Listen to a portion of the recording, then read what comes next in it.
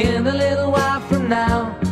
If I'm not feeling any less south, I promise myself to treat myself and visit a nearby tower and climb into the top.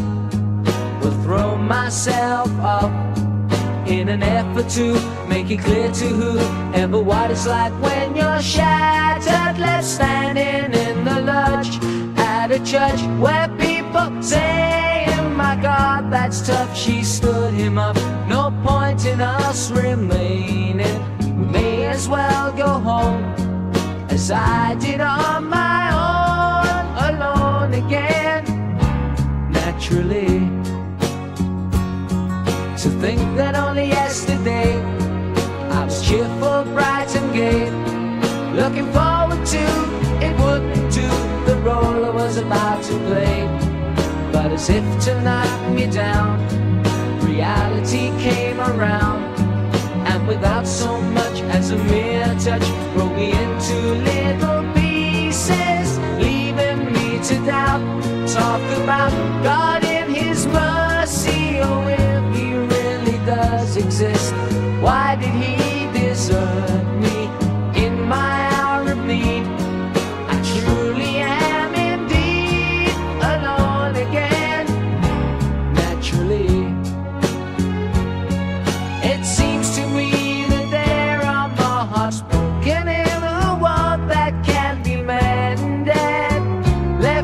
left unattended.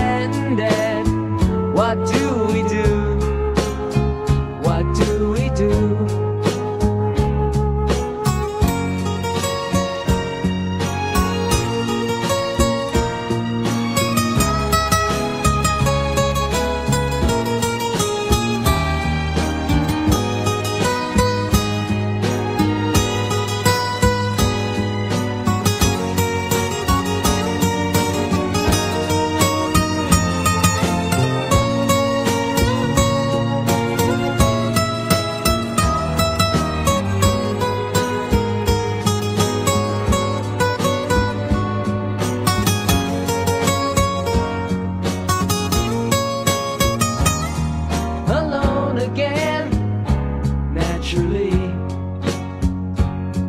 I'm looking back over the years, whatever that appears. I remember I cried when my father died, never wishing to hide the tears. He was 65 years old, and mother, God rest her soul.